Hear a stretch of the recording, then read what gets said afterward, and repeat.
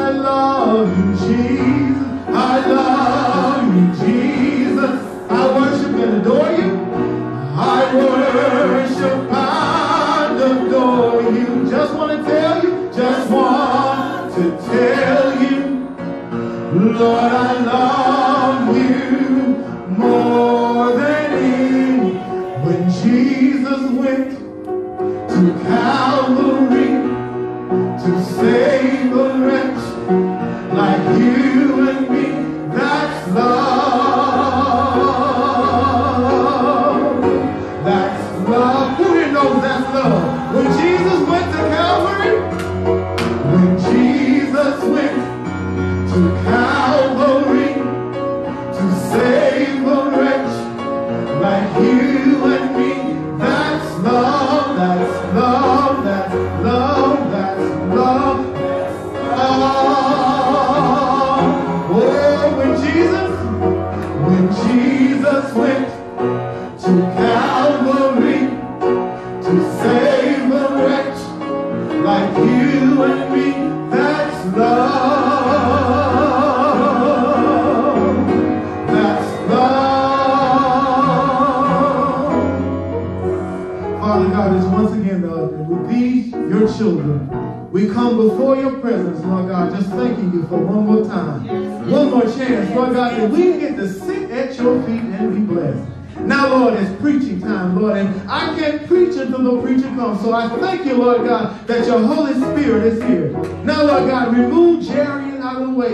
He, he, he's nothing, Lord. But I ask, Lord, that you would come in and that you would speak through me right now in the name of Jesus. Lord, so there's somebody that needs to be delivered. There's somebody that needs a healing. Lord, and they can only receive it unless you come. So, Lord God, we're asking right now, Lord God, in the mighty name of Jesus, that anything, Lord God, that's not like you in this place, that you will remove it right now in the name of Jesus. But, Lord, you come to set the captives free. And so, Lord God, there's some folk that need some freedom right now. And so, Lord God, I am claiming it right now in the name of Jesus. Lord, for we know that when we're in your presence, nothing stays the same. And so, Lord God, we're asking right now, Lord God, that you would send your Shekinah glory and allow your glory to fill this place in the mighty name of Jesus. For Jesus said that if I be lifted up from the earth, that he draw all men unto him. So, Lord, we come right now lifting up Jesus, lifting up the crown of thorns that they placed on his head. We come lifting up the, the nails that they put in his hands and his feet. We come now lifting up the blood that was shed as they pierced him in the side. But all thanks be to God, we come lifting up the fact that he got up on the, from the grave on that Thursday morning, thus taking the victory away from the death and the sting away from the grave. Lord, we thank you because he got up with all power in his hand. And because he got up, you have created, you have destined us to be victorious. So we thank you and we praise you. Now, Lord God, prepare us, Lord God, that the seeds of your word will fall on good ground. In Jesus' name we pray. Amen, amen, amen, amen, amen. We thank God for, again, this opportunity, man, to stand before your presence. Anybody that knows me know that I do not take an opportunity to share the word of God lightly. It's serious business, amen, when it comes to stand behind this sacred desk.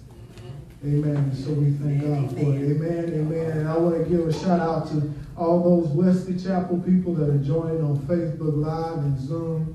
Amen. Good morning. God bless you. Amen. Amen. And also to Wesley Chapel, if you uh, would like to, you can once we dismiss, uh, I'll text you in the group and let you know when I'm headed back to Edwardsville if you want to meet uh, and receive communion on today. Amen? Amen. Amen. Amen. If you have your Bibles, I'm asking you to turn with me to the Gospel of Mark. Amen. It was read this morning for your listening and hopefully for your application. Amen. But uh, I want to lift up uh, verses 12 through 14 and verses 20 through 25 in the Gospel according to Mark. Amen. Mark chapter 11, verse 12 through 14 reads On the following day, when they came from Bethany, he was hungry. And seeing in the distance a fig tree in leaf, he went to see if he could find anything on it. When he came to it, he found nothing but leaves, for it was not the season for figs. And he said to it, May no one ever eat fruit from you again. And his disciples heard it. Verse 20. As they passed by in the morning, they saw the fig tree withered away to its roots. And Peter remembered and said to him, Rabbi, look, the fig tree that you cursed has withered. Jesus said to him, Have faith in God. Truly I say to you, Whosoever says to this mountain, Be taken up and thrown into the sea, and does not doubt in his heart, but believes that he, what he says, will come to pass, it will be done for him. Therefore I tell you, whatever you ask in prayer, believe, and you have received it, and it shall will be yours. And whatsoever and whenever you stand praying, forgive if you have anything against you, so that your Father also is in heaven may forgive your trespasses. Blessed is the word of the Lord. Amen. I struggle, I struggle about the subject, and I struggle about what to call this. Amen. And what the Lord would have me to say. And the Spirit just said, cut off cut off. I don't know about you, but there are sometimes uh, some things in life that we just have to cut off. I, am a very family-oriented person, and I'm one of those type of people. When I love, I love hard, whether you're a friend or whether you're family, amen. If I say I love you, then I'm going to exercise everything in my power to make sure you have what you need. I'll fight for you. My family know I literally will fight for you. If I if you my family and I love you, I will fight for you. I almost ran a man down in, a, uh, on the parking lot because he pushed my wife in the grocery store. Uh, so I will fight. I will fight for those that I love. Amen. Amen. But it's a good fight. It's a fight that's worth fighting for. But sometimes in life, there's some things that we just have to cut off. Amen. Amen. Amen. We have to cut it off because it is not good. It is not beneficial to us. There's some people we have to cut off. There's some situations that we need to cut off. There's some things that we just simply just need to cut off. And so while I was trying to figure it out, and I was going this and going this, and I'm like, Lord, what, what, what would you have me to say? What, what would you, you gave me the text, amen, and what would you say? And the Lord just said, cut off. Cut it off. Cut off your thinking sometimes. We got to cut that off. We got to cut off our thought process. We got to cut off our desires. We got to cut off our wishes. We got to cut off our wants.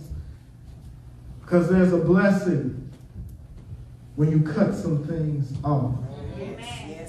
Mark records Jesus as he is passing by this fig tree. One thing I've learned in biblical studies is whatever it says, even if it's a small word, whatever the text says, it has meaning. And sometimes it's that little word, that obscure word that you're like, well, what is this here? You just may sometimes have you just pass over stuff. And sometimes when you go and you look at the significance of the smallest word, you'll find Jesus was hungry. We all get hungry. Jesus was 100% God in flesh. And so he was subject to the same feelings that we were. You know how you get when you're hungry. I know I, I don't know all of y'all. I know uh, quite a few of you, but I bet some of y'all is rather mean when you get hungry. I bet some of y'all, uh, uh there's a term, it, it, they call it hangry. You, you get very, you get kind of hangry because you're hungry. And, and your body desires, is made to want to be fueled by food. Whatever you do, whatever you do to exert energy, you replace, you replace that energy with food. Now, some of us don't pick the right thing to replace it with. You know, our doctors are telling us, you know, get some carrot sticks and get some celery and, and, and, and eat a handful of nuts. And y'all know, you know what Red Hot Ripley said, where, where, where, where, where the uh, hostess donuts. Uh, uh, you know what, we, you know, we, we all been there. You know, when we go to the gas station, we want the cheese snaps and the Butterfingers and the Snickers. We pass right by the healthy stuff because we're hungry. We want something to fill us. We want something to replace the energy that we have given out. And so now we need to replenish it. We're hungry. And so Jesus was hungry. And, and as he was traveling, he, he noticed the fig tree. And it said something very important. He noticed that there were leaves on the fig tree. There were leaves on the fig tree. And because there were leaves on the fig tree, Jesus was assuming that there would be fruit on the fig tree. Because a, a, a, fig tree that did not bear fruit did not bear leaves either. So it gave the appearance of having fruit. I want to suggest to us, church, that we have been far too long giving the appearance. Well, come on, somebody. We've been given the appearance of having fruit. We've been given the appearance of being fruitful. We've been given the appearance of being healthy. But when the hungry come to be fed, we show just what little we have to offer. We wonder why our churches don't grow. We wonder why our ministries don't grow. We wonder why in our lives, our personal lives, we are not as prosperous as we are or, want to be because we're given the appearance of being fruitful. But when those that are hungry come to us for nourishment, we have nothing to offer. I want to suggest to you, church, that if there's any indication of what we have experienced since March of 2020, we can no longer have the appearance of being fruitful. Because there's a world out there that's hungry. We found out just how hungry they were when the pandemic hit. People, healthy, just started dying, getting sick. People found out underlying health issues that they didn't even know they had would cause them to die. I know of more young, healthy people that didn't have anything wrong with them contract COVID and die. But a 90 year old woman in a nursing home gets it and survives. Right. All right, yeah. No longer can we continue to appear to be fruitful. But we've got to actually produce what we are giving the appearance of having. Because, church, what is happening is the world is hungry. Uh-huh. How to reach the masses? Those of every birth for an answer, Jesus gave the key. He said, If I be lifted up from the earth, I'll draw the world unto me. For the world is hungry for the living word. For an answer, Jesus gave the key. He said that if I be lifted up from the earth, I'll draw all men unto me. Church, we've got to stop giving the appearance of being fruitful and actually be fruitful and start lifting up Jesus. Then and only then will we be able to truly be that, that, that city that sits out on the hill. Then and only then will we truly be the salt of the earth. Will we begin to show, not just show, but actually possess what we're supposed to have. Mm-hmm. Because when we look at the text, we see that there is a price to pay for not being fruitful. Jesus looked at the tree and he said, No more. No one will ever eat fruit from you again. Jesus looked at that tree that gave the appearance of having fruit, gave the appearance of having sustenance for the hungry, gave the appearance of, of, of being able to restore those that, that, that were depleted. He looked at that tree and he said, No more will anyone be able to eat from you. Now, I, I think it, I'm, I'm, I'm, a little strange. Sometimes I get to thinking, I said, now, okay, I, when I first started reading this, I said, oh, Jesus kind of mean. You know, he was, yeah, he was hungry, but because the tree didn't have no fruit, he just said he cursed it. And then I got to thinking about that. Why did the fruit not have any tree? Now, why did the tree not have any fruit? It had leaves. So some fruit along the way had to be produced. All right. I got to thinking, it's not in the text. I know sometimes it's okay to just deviate or just think a little bit. And so I began to paint certain scenarios. When you look at what fruit represents to us and, and, and how, as believers, we are called to be fruitful and we're called to, to, to, to have uh, uh, uh, what resources that those that encounter us will need. And so, as believers, we are to be fruitful and we are to be able to provide sustenance for the hungry. And you know, sometimes we, we as fruitful as, as we try to be and as much as we try to do, how many know that sometimes we allow ourselves to be depleted by the wrong things and by the wrong people? And, and, and because we give ourselves and we do and we exercise uh, uh, uh, uh everything that we can to help those that we, that we love and those that we want want to help. Sometimes we allow our fruit to be depleted. I hear people say all the time, oh, I'll rest when I'm dead. All right. Well, you know what? You being dead does nobody any good. See, your death is not going to save anybody because you're not Jesus. Your death is not going to help anybody. So what you have to do is, is you have to work while it's day. You have to make sure that you are working to your full potential. And so that means sometimes you might have to step back. You might have to say, no, baby, I can't do it this time.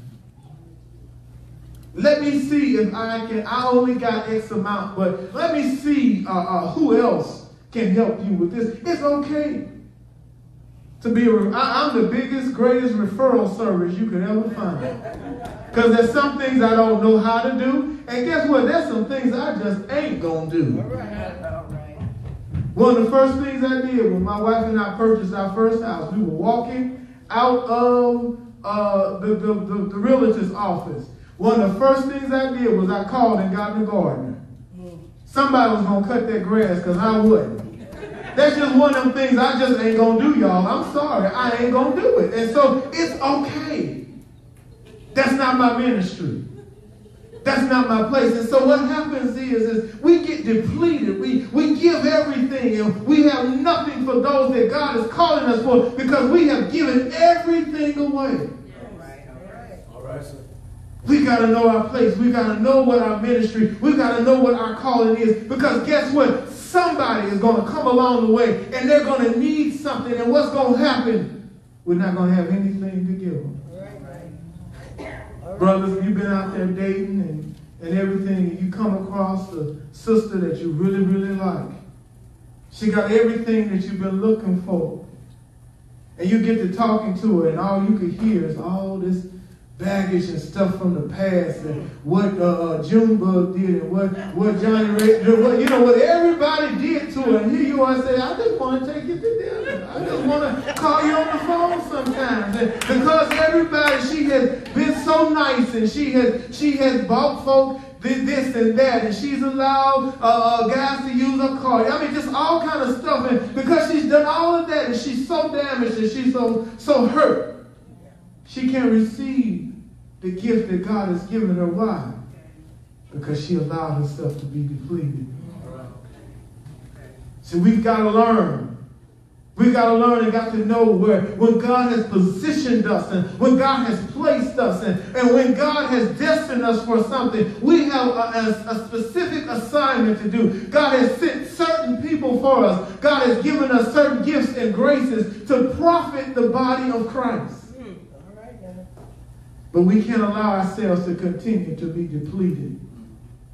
Because what happens is that when it's time for us to shine, we have no light. When it's time for us to cook, we got nothing to cook with. When it's time to sing, we ain't got no voice no more because we used it up. When it's time to love, we can't love because we're so bitter. We got nothing but, but anger and hatred in our heart. Come on, somebody. Come on. You, you know what I'm talking about. It's time to forgive, but because you forgave and forgave and you allow people to continue to run over you and dog you out, now it's time to really truly forgive and you can't be. Why? Because you're depleted. Yeah. Mm. There's lessons in our struggles. There's blessing in our burdens. Yes, it is. We just got to learn how to get that lesson, how to get whatever it is that God is trying to teach us and show us and, and, and, and use for, our, for, for His glory for us. But we've got to learn how to listen, pay attention. We've got to learn. Because what's going to happen is that there's going to be a time, there's going to be a day, there's going to be a situation where God is going to need us we're nowhere to be found. I, I, this morning, I, I tell you how God works. And I laid everything out because I, I, was like, y'all, we leaving this house at 9.30. I laid everything out. That that I didn't lay out, I, I thought I knew exactly where it was. All right. And so I, even though I'm fully dressed, I'm kind of incomplete because there's a handkerchief and there's a, a lapel pin that goes with this. this suit. And y'all know, y'all know me. Y'all know I like to put my stuff together. And I, I couldn't find it. I couldn't find it. Had no idea. I had just saw it. Just put my hand on it, and I actually said, "I'm gonna leave it there, because that way I'll know where it is on Sunday morning." Could not find it. See what happened? God has stuff for us to use at a certain time at a certain place, but we can't find it. God has an intended purpose for us. You, you know, uh, other denominations like to call themselves sanctified. Y'all do know what the word sanctified means. It means to be set apart for the use of God. God has sanctified you and sanctified your gifts. God has set you and your gifts apart for his use. But you can't go around here using up your gifts, using up what God has blessed you with for the purposes that God did intend for you to use them for. I'm a chef by profession. And I got an assignment one day. I worked at a Jewish nursing home, and I got an assignment one day to go into the kosher kitchen and cook. And you know, all that stuff that we read about in Leviticus and stuff like that, because they didn't accept Jesus, they still do all that stuff. And it's nerve wracking. It's nerve wracking to stand behind, uh, to have be cooking, and you got a Jewish priest standing over your head. Right. See, I grew up old school. Get out of my way when I'm cooking. Don't look over my shoulder. Don't touch my pots. Don't, don't, don't do nothing. Get away from me when I'm cooking. But you got a Jewish rabbi standing over you. Is that kosher? What you think? And so you stay, so, so, uh, and what I had to realize is they had everything marked because, you know, you go back to Levitical law and, you know, meat and some dairy and stuff couldn't mix. And so you had this color, this color pot and pan for this color side of the stove. It could not meet. It could not mix. And so what happened was I almost put hmm. a meat pot on the dairy side, and he liked to have a fit. but see what it was, whoever had used the kitchen before me didn't put the pot in the right place. And so because I was over in the meat pots, getting ready to cook meat, somebody had put a dairy pot over in the meat pot, and I didn't pay no attention, so I just grabbed the stuff. See, when you are set aside and set apart for the use of God, you've got to be where He's put you. In order to be used by God, in order for, for your full gifts and graces to be used the way God has intended for you to use them, you've got to be where God has placed you. This tree was strategically placed in a spot where travelers would see it and want to be nourished, want to be fed. But because it bore no fruit, it could live out its intended purpose. I believe people talk about oh, this church isn't growing. Uh, uh, we aren't growing. We aren't doing this. We are we are AME, so we got the same struggle. Y'all just in Madison, we up in Edwardsville. We got the same, same struggle. And, and, one of the things that I have realized, and, and, and, as much as I love all of the workshops and evangelism and church growth and development that we do, one thing I've realized is that it's up to you to know your surroundings. Mm-hmm. It's up to you to know the, the area that you've been called to serve. And so when you know your area, you know how to prepare for ministry. If you was placed in a central location, and you don't know what type of uh, people could come to you for assistance or help. You kind of got to be a jack of all trades. You got to have a little some of it all. And even if you can't provide the full strength of help, you should at least be able to tie them over, to get them to where they need to go. You can't have an urban ministry in a rural community. Come on now. Come on now. You can't have a prosperity movement in the midst of poverty. You got to know who you're called to serve. You got to know who you're called to minister to. So that when the hungry come, you'll have something for them. We see in our text that Jesus cursed the tree. He walked off. He left. He was officially done with that tree because he was hungry. If you go back and you read early in Mark, Jesus had just entered into Jerusalem. He was preparing to go the last stretch of his life. He had been healing some sick, raising some dead. He had done all of this, and then he knew what he had done, and he saw what was ahead of him. All right. And he was hungry. Church, these people out in the world have been to hell and back. Come on now. Come on. They've had to fight for everything they've ever had in life. Nothing was given to them. Gifts and graces that you just you are, are just able to enjoy because you are the blood-bought believer of Jesus Christ.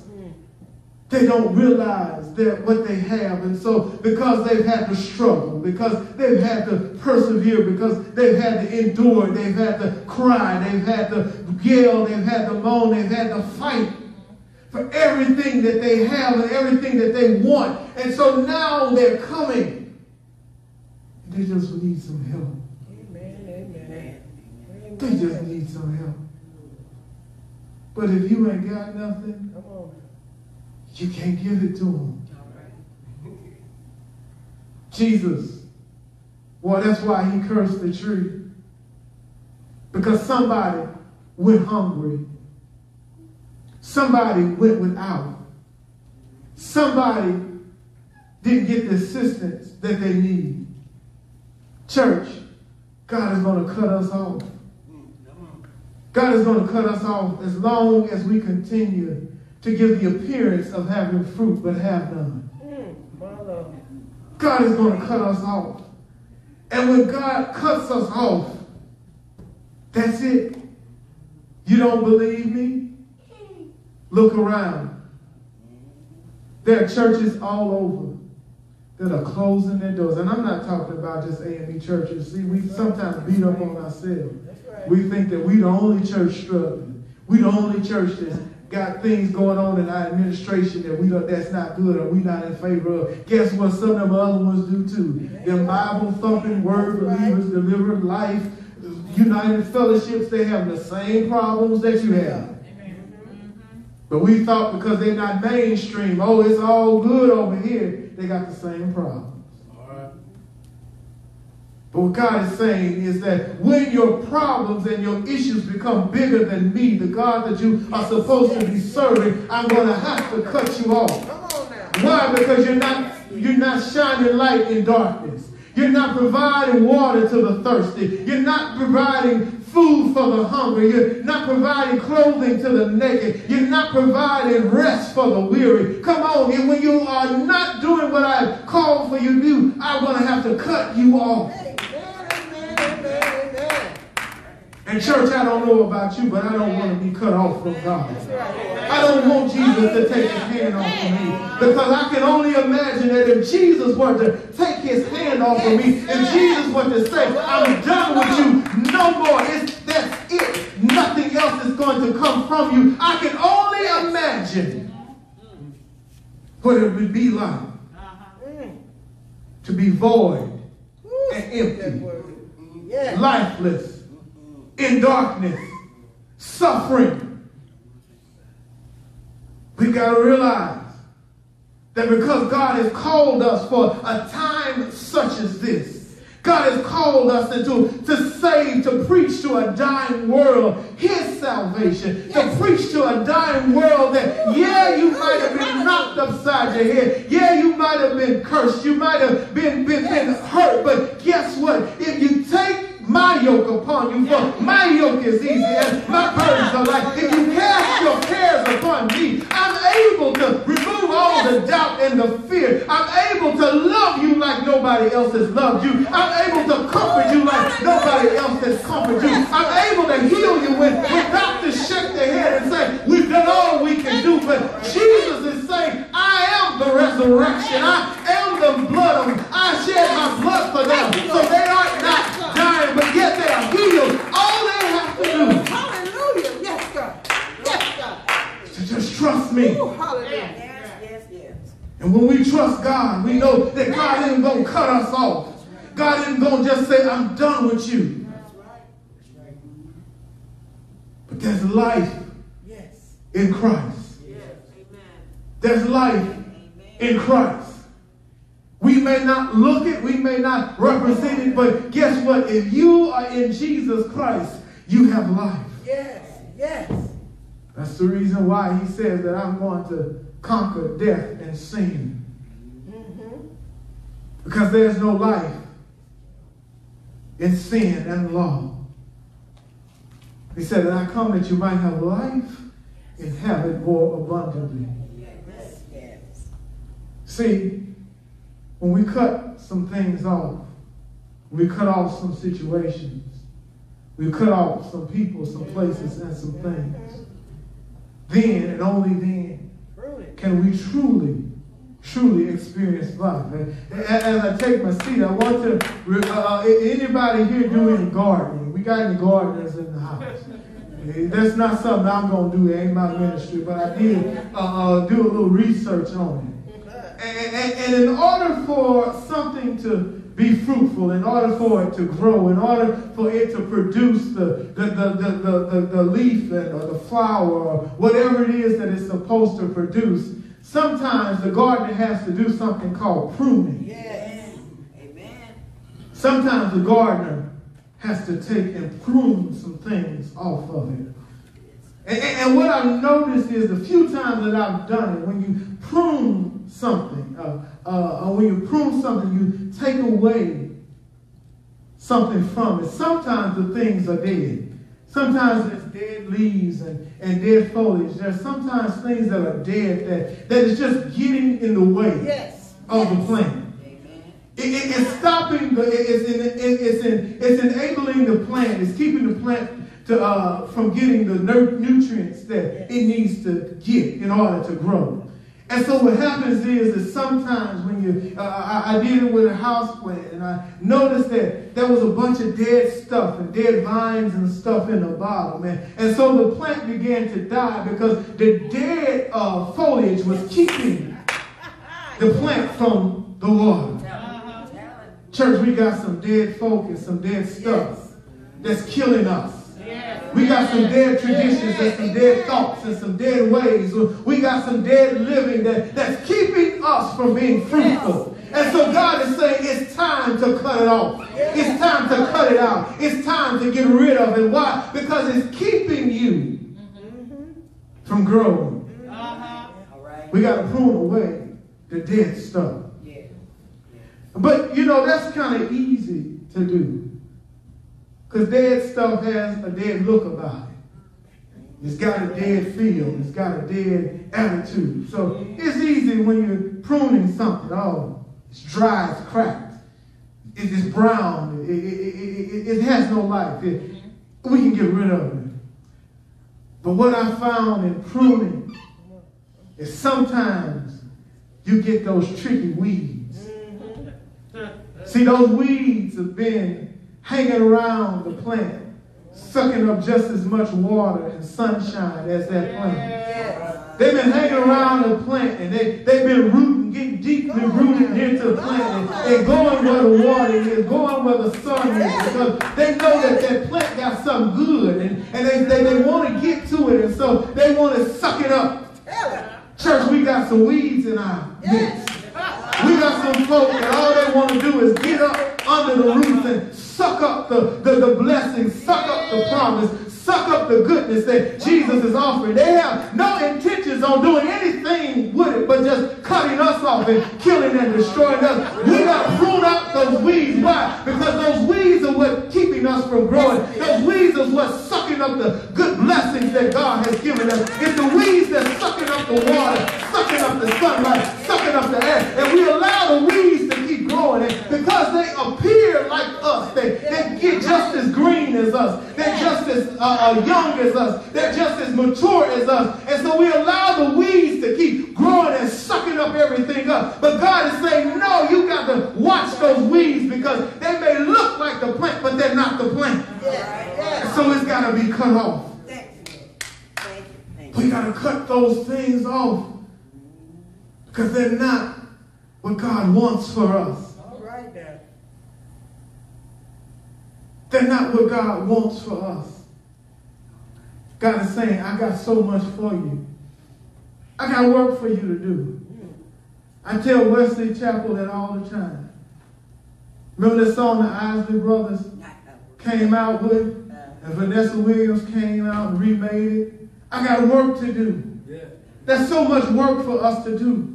But as long as we are bogged down with weeds and dead stuff and, and things that don't really matter, we cannot provide the nourishment. We can provide the sustenance. We can provide the life that God has wanted us to provide to those that are dying. Amen. Amen.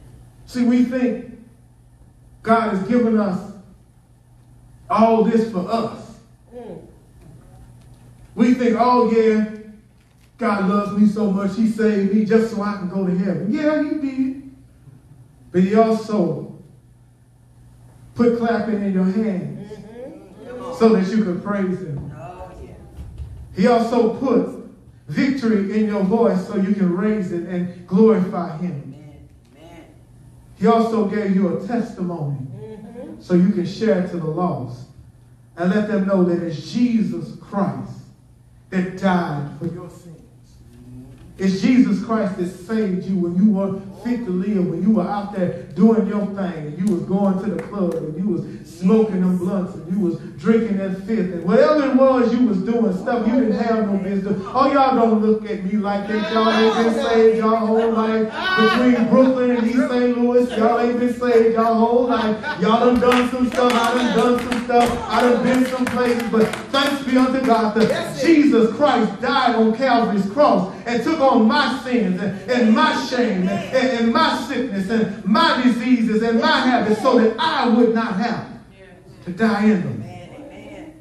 I want to encourage you, my brothers and my sisters, if you are here today, if you've yet accepted Jesus Christ as your Savior, I want to encourage you. Don't put it off any longer. Amen. I want to encourage you, my brothers and my sisters, that if you found yourself seeking something and wanting something,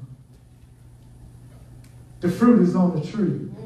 Oh, yes. All you have to do is just reach up and grab it. Grab it. If you need to rededicate your life to God, maybe you, along the way, you ate the fruit, you kept going and going and going, and now it's time to eat some more. I want to encourage you, it's okay.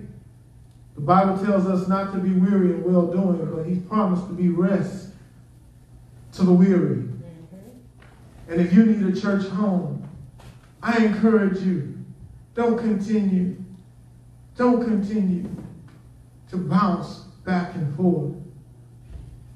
Don't continue to go without covering. Why? There's work for you to do. Amen. And so when you cut some stuff off, guess what? When your soul has been anchored and you have a place of worship and a place that you can be taught, a place where you can be nurtured and matured, when you cut some stuff off, you'll learn how to replace them with the stuff that God wants you to have. All right now. You'll get strength for the journey. You'll be able to carry on. Why? Because you're anchored. You're not blowing to and fro. But God has planted you. So I encourage you. If any one of those three appeals fits you or fits your needs, the doors of the church are open. Amen. Let us stand.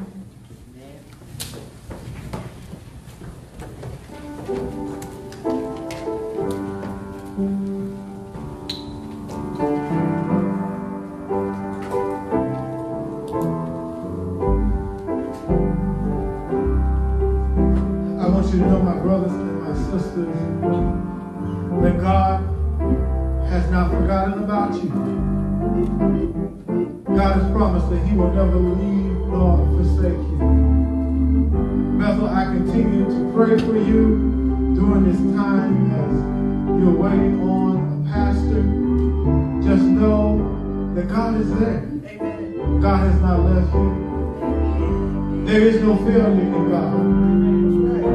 And as God is sending a pastor your way, it's my prayer that every Sunday that you come, you receive the word. I pray and I rebuke the spirit of abandonment right now in the name of Jesus. God has not abandoned you. God has not left you. You continue to be faithful to God, not faithful to the church, not faithful to the enemy church, not faithful to Bethel, and I'm not saying it's not important, but continue to be faithful to God. Hear God this morning. If you continue to be faithful to God, the time that you did not have, God is a restorer. Do you really know what restoration is? Come on, if you ever experienced restoration, you know that when God restores you, He takes back to like it never happened. Just like the Hebrew boys when they were in the fiery furnace. yes. The Bible says the appearance of smoke didn't even pass through their clothes. Don't you know that God is able to give you beauty for your ashes?